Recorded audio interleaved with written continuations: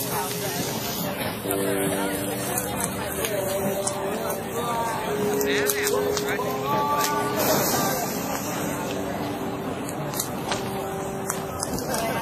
love art.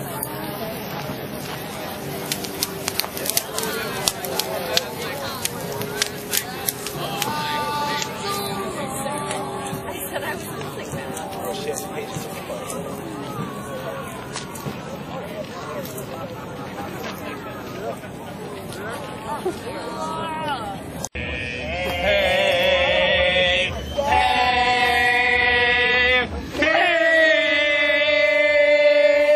hey, hey, hey, hey, hey, hey, hey,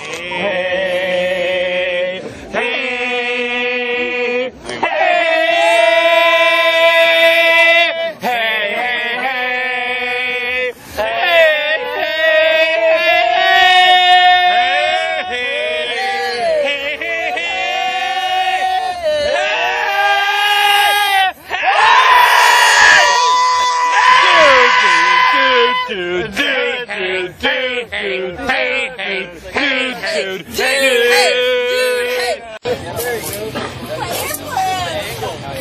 yo, guys. I'm not doing anything. It's just in case you come forward.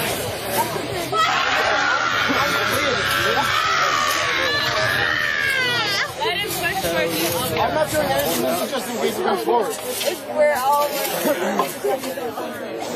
Rocking, rocking it's not gonna help. Rocking it's gonna make it harder. No, but it will settle it into the dirt. Drop here. You got that off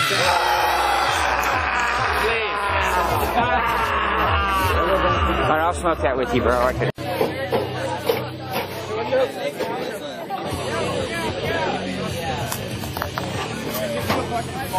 The back end is so much heavier. You guys better keep pushing. It's teetering. It's teetering. Keep pushing on that side. I know, but it's still teetering. What's that? They're not pushing. It's still not still. I'm gonna go around. Feels like it's about to fall that way. in. Hey, We only need one pole on this side. We need another pole in the back. Get out of the way. Pull it on that. Pull it up like on the backside. Pull the stand, not pull the car part. I just want to go and watch the fall back. Push it forward a little. Are you getting? Like five gallon bucket? Push it forward a little. Backwards. Move the dirt here.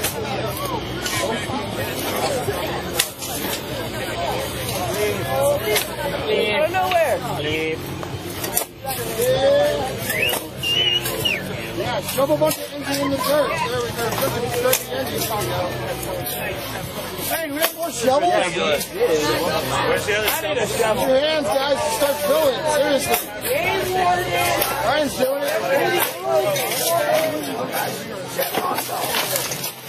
not deep enough. Into the engine and in the hole, not in the seats. Deeper than any other hole we've dug. It's the same depth as the one right there if you look at the tire.